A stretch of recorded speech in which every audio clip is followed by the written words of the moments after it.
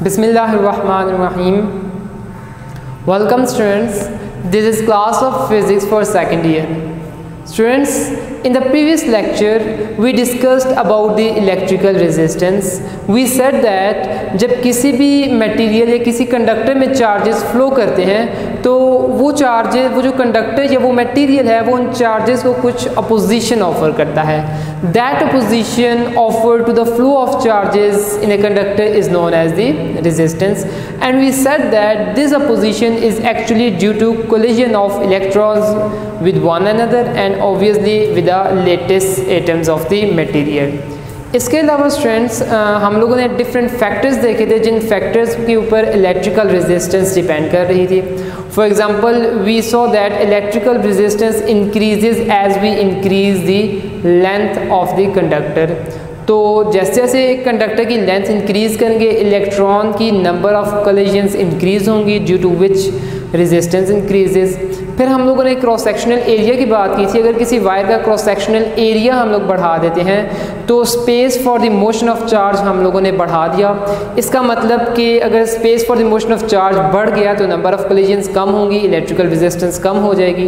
And we set that with increasing the cross sectional area resistance decreases इसके बाद हम लोगों ने ये भी कहा था कि नेचर ऑफ़ मटेरियल के ऊपर भी डिपेंड करती है और टेम्परेचर पे भी डिपेंड करती है। And for the temperature we set that कि जो मेटल्स हैं, उनका टेम्परेचर इंक्रीज़ करने से इलेक्ट्रिकल रेजिस्टेंस इंक्रीज़ होती है। जबकि सेमीकंडक्टर्स के केस में केस रिवर्स हो जाता है। आप टेम्परेचर इंक्रीज़ करोगे तो इलेक्ट्रिकल रेजिस्टेंस डिक्रीज़ कर रही होगी।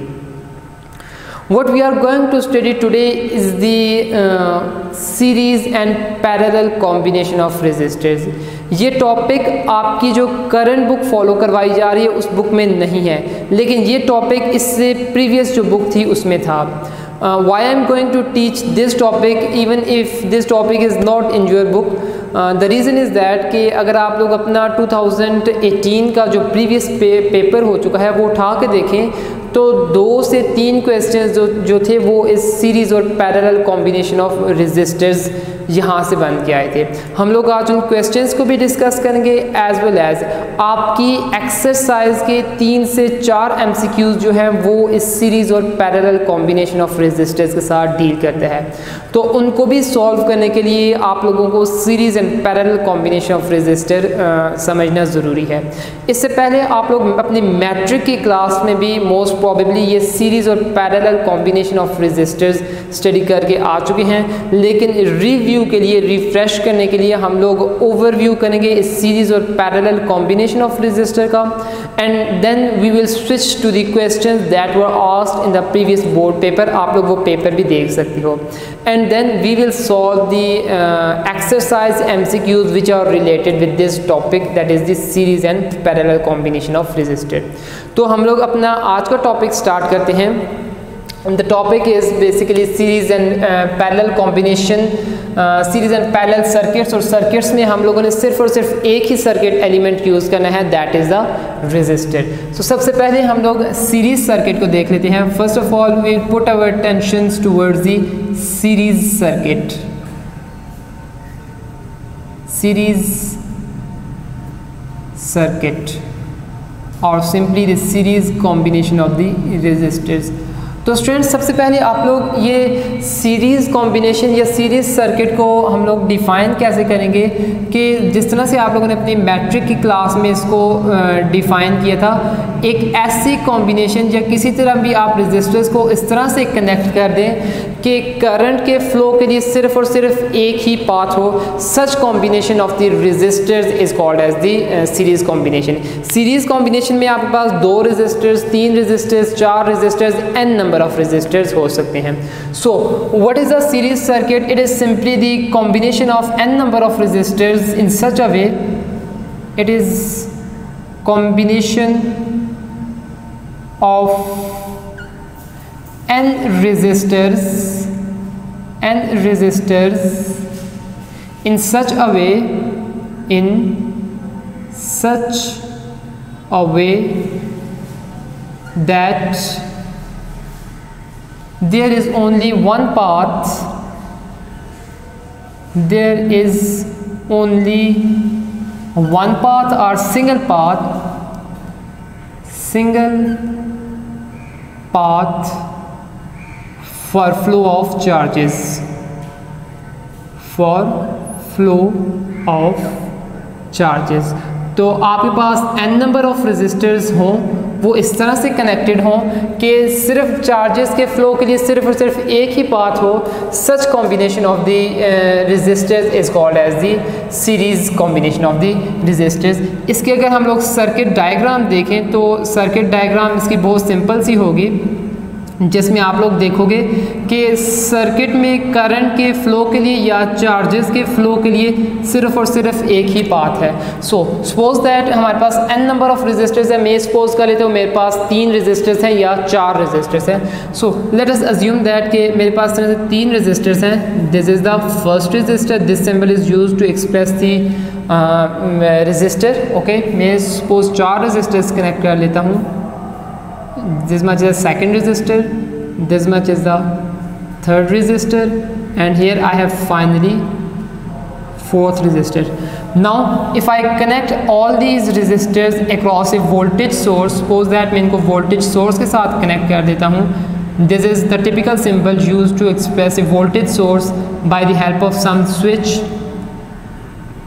okay this much is a simple circuit simple series circuit now this is a switch S this is a voltage source V this is a resistor R1 this is a resistor R2 this is a resistor R3 and this is a resistor resistance R4 okay as soon as मैं जैसे ही इस switch को close करूँगा तो since this the positive terminal of the battery this the negative terminal of the battery तो हम लोग कन्वेंशनल करंट का कॉन्सेप्ट लेंगे। तो करंट फ्लो करेगा from the positive terminal of the battery into the circuit यहाँ से करंट आएगा into the circuit and then this current has only one path that is this much path. तो ये suppose that if a point A and this is a point B then the current has only single path between the points A and B. So this type of the combination of resistors is called as the series combination. Now the current flows from all the resistors and then it flows back towards the negative terminal of the battery. This is a condition when your switch is closed and then in this way the constant or steady current is maintained in the circuit. Now students हम लोग इस combination के लिए अपने easy अपने अपने लिए mathematical expression एक ड्राइव कर लेते हैं और वो हमें मैथमेटिकल एक्सप्रेशन बताएगा कि जो इक्वानेंस रेजिस्टेंस है वो किस चीज़ के इक्वल होगी। So what we are going to do we are going to derive mathematical expression for our this much circuit okay now, from the first chapter, that is chapter number 11 of second year, you have studied that कि जो आपका series circuit है, इसमें चूँकि एक ही आपके पास पाथ है सो सारे के सारे चार्जेस इसी एक ही पाथ में से फ्लो करेंगे। सारे के सारे चार्जेस एक ही पाथ से फ्लो करेंगे मतलब सारे का सारा करंट एक ही पाथ से फ्लो करेगा। जब सारे का सारा करंट एक ही पाथ से फ्लो करेगा, इसका मतलब कि इस पूरे के पूरे सर्किट में आपके पास जो करंट की वैल्यू है, वो फिक्स्ड रहती है। करंट की वैल्यू चेंज नहीं होती। करंट की वैल्यू कांस्टेंट रहती है। And this is the MCQs अपने पास नीट नोटबुक्स पे ये एमसीक्यूज में नोट कर लीजिएगा कि जो सीरीज़ सर्किट है, इसमें हमेशा क्या चीज़ फिक्स्ड रहती है? करंट फिक्स्ड रहता है, लेकिन वोल्टेज डिफरेंट ड्रॉप होता है। लेट सपोज़ वी ये जो आर वन रजिस्टर है, इसके cross voltage V one drop हो रहा है। ये जो आर टू रजिस्टर है, इसके cross voltage V two drop हो रहा है। This is total voltage V R three के क्रॉस जो वोल्टेज ड्रॉप हो रहा है, वो वी वी थ्री ड्रॉप हो रहा है।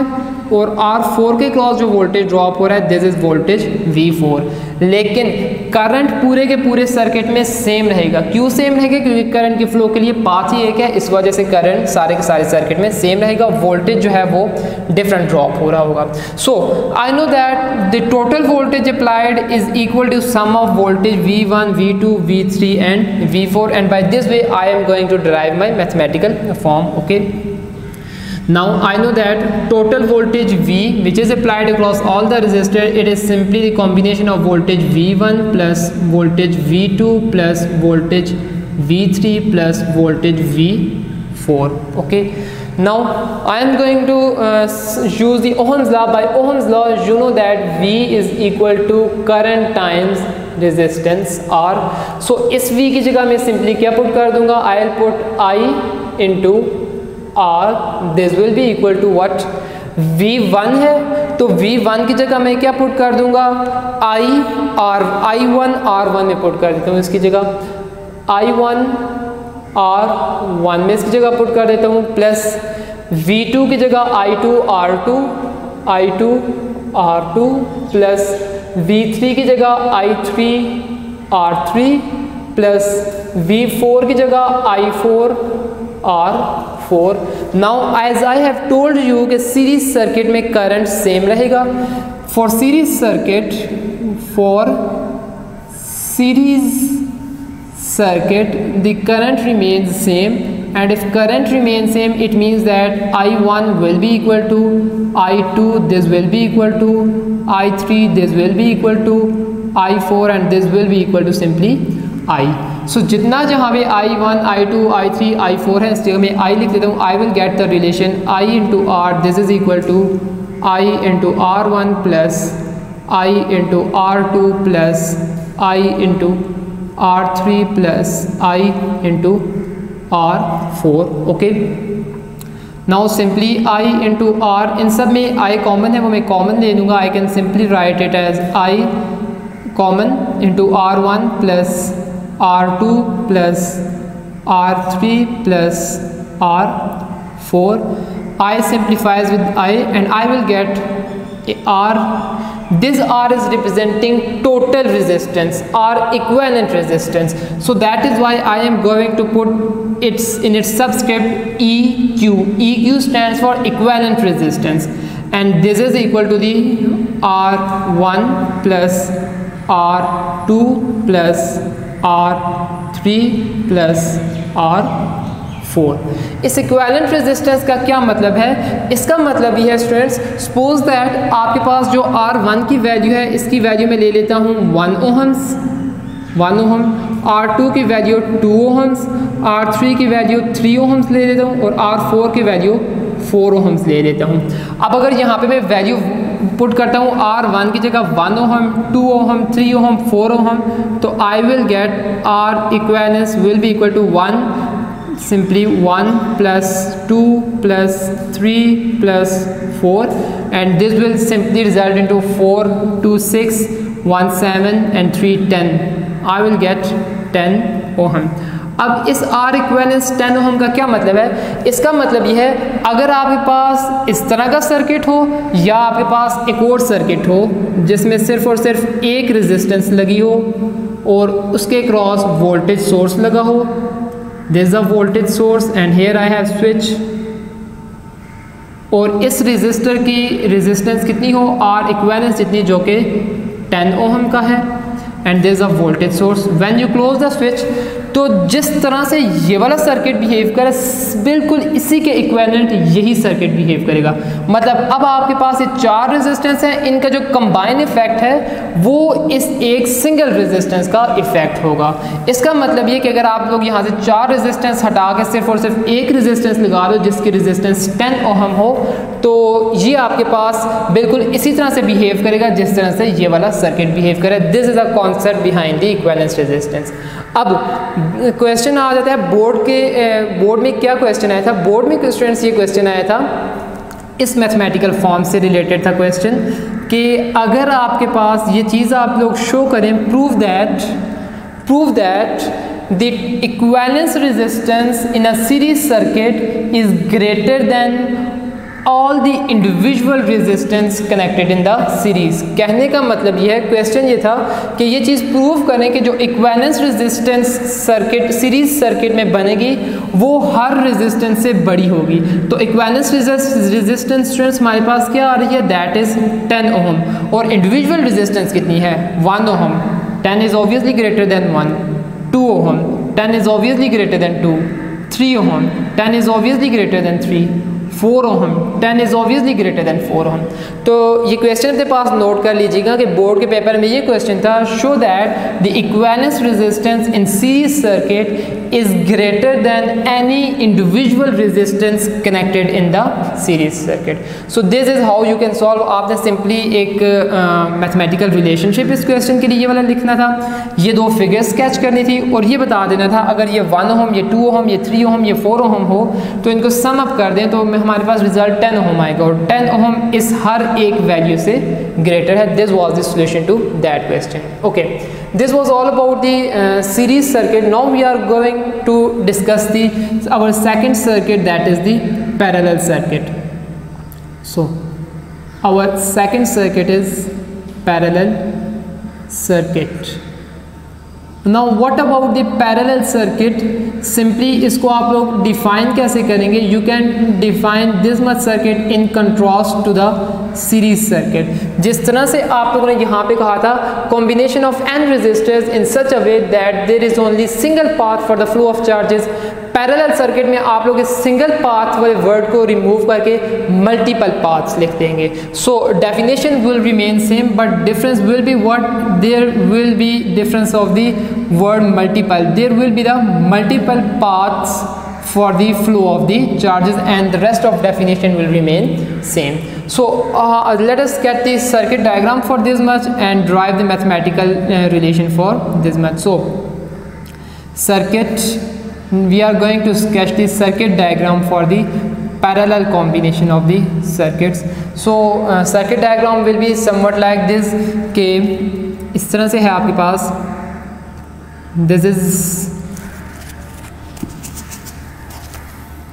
suppose that this much is point A और इस पॉइंट से आगे मल्टीपल पाथ्स होंगे हमारे पास जहाँ पे रेजिस्टेंसेस कनेक्टेड हैं suppose that I am going to connect three resistances first resistance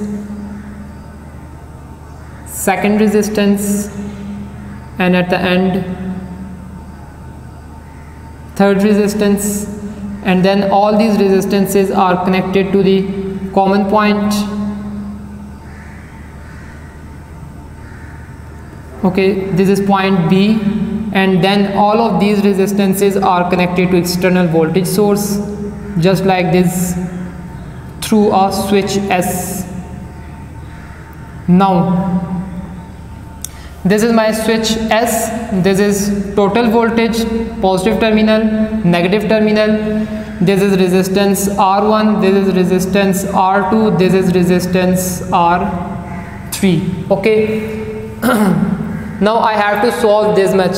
As soon as you just close this switch, what happens? The current starts flowing यहाँ से करंट आएगा टोटल करंट आए। लेकिन since this is my point A and this is my point B I can see that after the point A there are three different path for the flow of electric current first through resistance R1 second through resistance R2 third through resistance R3 so what happens current will start dividing तो parallel circuit में क्या होगा students आप अपने पास MCQs भी note कर लेना है कि करंट जो है करंट जो होगा वो डिवाइड हो जाएगा जबकि वोल्टेज जो होगा इस केस में वो सेम रहेगा this is I three current and here the current goes which is the I two and then इस पॉइंट पे ये सारे के सारे करंट्स कंबाइन होके करंट आई ही बना देंगे।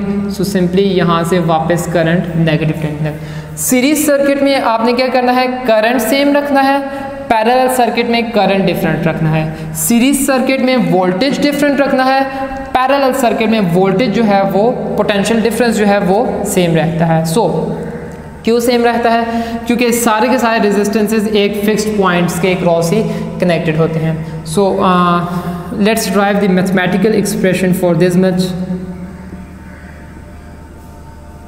mathematical expression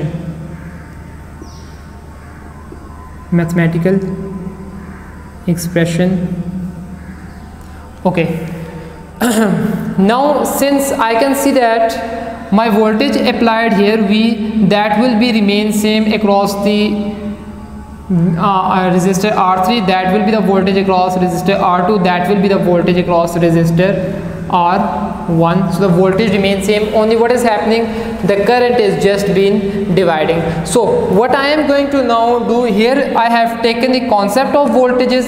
Here I have I am going to take the concept of the current. I can see that this total current I is being divided into I1 I2 and I3 so I am going to write total current I that is being divided into I1 plus I2 plus current I3 okay again I am going to use the Ohm's law by Ohm's law I know that V is equal to I times R this implies that current is equal to the uh, voltage divided by R so simply is I की जगह I will put V divided by R I1 की जगह V1 divided by R1 plus I2 की जगह V2 divided by R2 I three की जगह V three divided by R three okay now I know that since the circuit is parallel circuit and for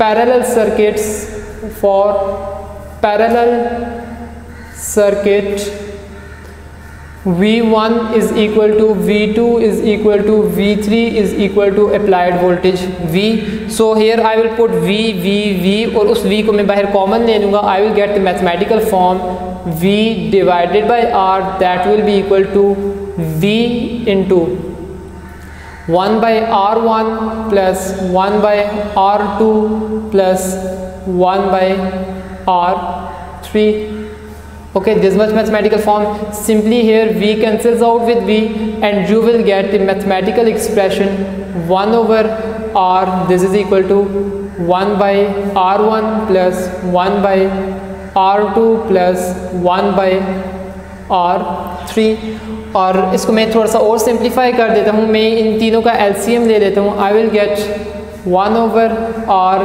this is equal to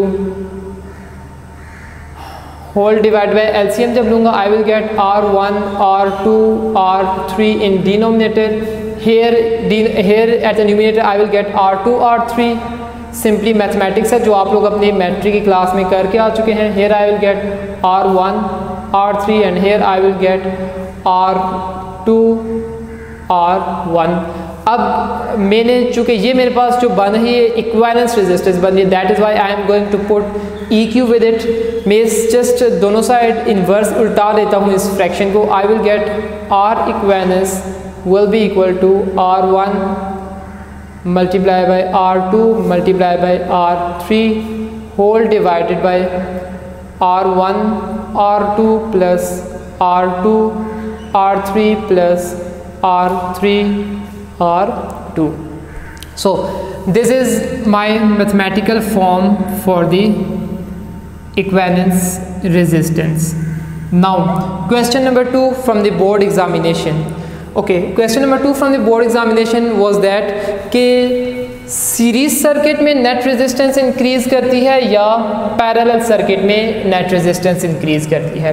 तो students पहली बात तो मैं आपको सिंपल से बता दूँ कि सीरीज़ सर्किट में नेट रेजिस्टेंस इंक्रीज करती है पैरेलल सर्किट में नेट रेजिस्टेंस कम हो जाती है। अब इसके पीछे एक मैथमेटिकल रीज़न भी है। इससे प्रीवियस आप लोगों ने जो लेक्चर पढ़ा था, उस लेक्चर में आप लोगों ने ये चीज़ कंक्लूड की थी कि रेजिस्टेंस जो है that is directly proportion to length और ये चीज़ भी आप लोगों ने प्रूव की थी रेजिस्टेंस जो है that is directly proportion to one over area area बढ़ेगा तो रेजिस्टेंस कम होगी लेंथ बढ़ेगी तो रेजिस्टेंस बढ़ेगी.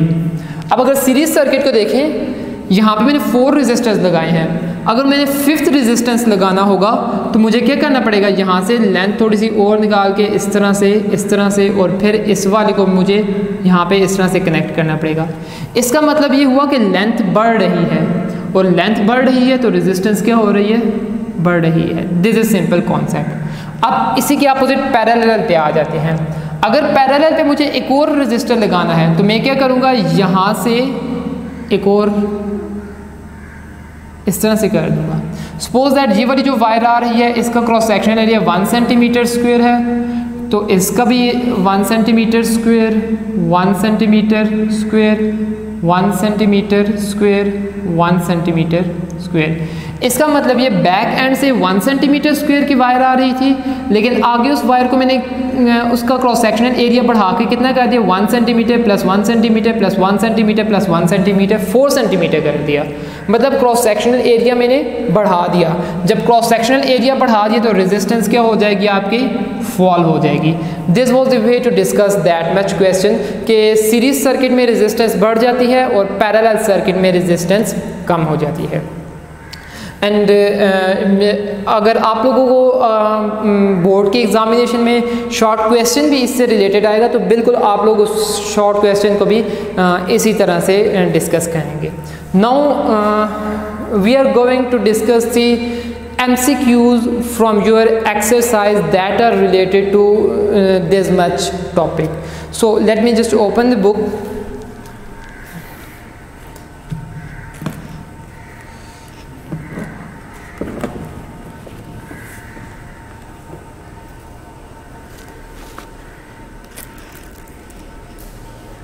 Okay students let's come to your exercise your exercise Q number two three resistors of resistance R each are combined in various ways which of the following can not be obtained मतलब आपसे ये कहा गया है, तीन registers हैं आपके पास। आपने उनको डिफरेंट तरह से अटैच करना है। जब डिफरेंट तरह से अटैच करना है तो इक्वेलेंस रेजिस्टेंस कैलकुलेट करें। इक्वेलेंस रेजिस्टेंस कैलकुलेट करने के बाद आपके पास एक मैथमेटिकल एक्सप्रेशन आएगा।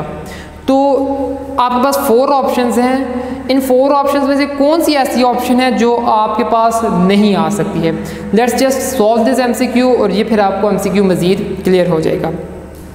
So all that you are given is that आपके पास तीन रजिस्टर्स हैं और उन तीनों की रेजिस्टेंस इक्वल है that is R and you have to solve this much M C Q this is M C Q number two from your exercise and I am going to solve this much M C Q that is M C Q number two from your exercise तो आपके पास तीन registers हैं और उनकी resistance जो है that is equal equivalent है that is R R and R so सबसे पहले मैं ये सपोज़ कर लेता हूँ, सबसे पहले ये ये सपोज़ कर लेता हूँ all are connected all are connected in series कि सारे के सारे जो रजिस्टर्स हैं वो सीरीज़ में कनेक्टेड है। अगर सीरीज़ में कनेक्टेड है तो मेरे पास फिगर कैसी आएगी? This first resistor this second resistor and this will be the third resistor and external पे वोल्टेज सोर्स के साथ कनेक्टेड होंगे वो मैं शो नहीं कर रहा इंटेंशनली सो so, इसकी भी रेजिस्टेंस आर है इसकी भी रेजिस्टेंस आर है इसकी भी रेजिस्टेंस आर है। From your mathematical expression for series resistor you know that कि equivalence resistance for the series resistor तीनों एडअप हो जाते हैं। सो so, इस केस में मेरे पास जो इक्वालेंस रेजिस्टेंस बनेगी the equivalence resistance will be R plus R plus R that will simply be three R तो फ़र्स्ट एक आपके पास आंसर ये आ रहा है। This is your option number A तो आपसे क्वेश्चन में ये कहा गया which of the following can not be obtained this can be obtained तो ये ऑप्शन करेक्ट नहीं है. ओके okay, मैं सेकंड पे ये सपोज़ कर लेता हूँ कि तीनों जो हैं वो पैरेलल में अटैच हैं. सेकंड ऑप्शन पे मैं इसको सपोज़ कर लेता हूँ all are connected connected in parallel तो अगर सारे के सारे पैरेलल में कनेक्टेड हैं तो मेरे पास सिचुएशन इस तरह से आ जाएगी। This will be the first resistor here I will have the second resistor and here I will have the third resistor इस तरह की सिचुएशन मेरे पास मान जाएगी। इसकी भी रेजिस्टेंस आर इसकी भी रेजिस्टेंस आर इसकी भी रेजिस्टेंस आर अब पैरेलल कॉम्बिनेशन के लिए आप लोगों ने फॉर्मूला डेराइव किया है that is one over R equivalence जो इक्वेलेंस रेजिस्टेंस है that is R one over R one plus one over R two plus one over R three so और नेट फार्मूला जो आपके पास बनता है इक्वेलेंस रेजिस्टेंस के लिए, उसी को सिंप्लीफाई करके मैंने ये वाला बनाया था। So I will get R equivalence will be equal to R one R two R three चूँकि यहाँ पे हर एक रेजिस्टेंस की वैल्यू आर ही है so R multiply by R multiply by R I will get R cube divided by R multiply by R R square plus R multiply by R R square plus R multiply by R R square I will get r square plus r square plus r square I will get 3r square okay इसी को अगर आप लोग simplify कर लें will get uh, this cube will cancel out with square and you will get r divided by okay students sorry for interruption so we are discussing कि हम लोगों जब तीनों रजिस्टर्स को पैरेलल में अटैच कर देंगे so I will get this much expression और मेरे पास जो फाइनल आंसर बनेगा सिंप्लीफाई करके that is R by three and R by three is your option number C तो ऑप्शन नंबर ए भी आपका इनकरेक्ट है ऑप्शन नंबर सी भी आपका इनकरेक्ट है, ये ऑप्टेन हो सकते हैं। आपने वो बताना है जो ऑप्टेन नहीं हो सकता। Okay okay. थर्ड पॉसिबिलिटी मेरे पास क्या हो सकती है? मेरे पास ये हो सकता है, दो सीरीज़ में कनेक्टेड हो एक पैरेलल में कनेक्टेड हो तो मेरे पास जो थर्ड पॉसिबिलिटी बनेगी थर्ड पॉसिबिलिटी ये बनेगी, दो रेजिस्टर्स पैरेलल में होंगे, दो रेजिस्टर्स पैरेलल में होंगे और एक जो होगा वो सीरीज़ में होगा with the parallel parallel combination of two resistors तो ये मेरे पास कैसे सिचुएशन बन जाएगी? ये कुछ मेरे पास इस तरह से सिचुएशन बन जाएगी। ये सर्किट इस तरह से होगा कि दो रेजिस्टर्स मेरे पास इस तरह से पैरेलल में आ जाएँगे। These two resistors will be in parallel और इनकी पैरेलल कॉम्बिनेशन आगे एक सीरीज़ रेजिस्टर के साथ अटैच होगी। So this two parallel are connected with one in series तो इन तीनों की resistance R R and R है। तो सबसे पहले मैं इस पैरेलल सर्किट को सिंप्लीफाई करूँगा। तो पैरेलल सर्किट के लिए जो मेरे पास फॉर्मूला होता है that is this much formula so I will get one over R इन दोनों को मैं मिला रहा हूँ अभी तो ये चूँकि पैरेलल में है तो मैं आर पी लिख देता हूँ। मतलब पैरेलल में जो रेजिस्टेंस है, उनकी equivalence resistance this is equal to one over R one की जिसकी रेजिस्टेंस आर है plus one over R two जिसकी रेजिस्टेंस आर है। This much relation simply one over R P this will be equal to one over इनका जब मैं LCM लूँगा I will get simply LCM denominator में मेरे पास आर आ जाएगा और न्यूमिनेटर में मेरे पास सिंपली डिनोमिनेटर में मेरे पास सिंपली आर आ जाएगा और न्यूमिनेटर में मेरे पास सिंपली वन आएगा क्योंकि जो आपका एलसीएम आता है, वो यहाँ पे भी मल्टीप्लाई हो रहा होता है और इस साइड भी मल्टीप्लाई हो रहा होता है। This is according to your matric mathematics so parallel में इसको मैं जब इन्वर्स कर दूँगा, उल्टा दूँगा I will get R P that is equal to R मतलब इन दोनों को जब मैं मिलाऊँगा तो मेरे पास एक रेजिस्टेंस बन जाएगी, जिसकी वैल्यू आर होगी। और इसको मैं अगर मज़ीद इन दोनों को अब चूँकि मैंने मिला के एक रेजिस्टेंस बनाई है, जिसकी वैल्यू आर है so what I will get my sir my this much circuit will be simplified into this much ये वही वाला आर है और ये जो एक सर्किट है, इन दोनों को मिला के मैंने एक रजिस्टर बना दिया है। ये आर पी है, जिसकी वैल्यू आर के इक्वल है। Okay now they are in series और इनके लिए जो इक्वेलेंस रेजिस्टेंस मेरे पास बनेगी R equivalence that will be equal to simply what R P plus R R P की वैल्यू आर है so you will get R plus r and r plus r, that will be simply equals to 2 times r. तो क्या ये option है आपके पास? 2r 2r की आपके पास option नहीं है। अभी तक आपका ऑप्शन ए इनकरेक्ट था ऑप्शन सी इनकरेक्ट था। अब या बी आपका करेक्ट ऑप्शन होगा या डी करेक्ट होगा। तो ये वाला तो किसी में भी नहीं आ रहा। तो मेरे पास एक लास्ट पॉसिबिलिटी है। उस पॉसिबिलिटी को मैं चेक कर लेता हूँ। मेरे पास जो फोर्थ पॉसिबिलिटी वो ये क्या, वो क्या होगी कि दो रजिस्टर्स को सीरीज़ में ले लेता हूँ, एक को पैरेलल ले लेता हूँ।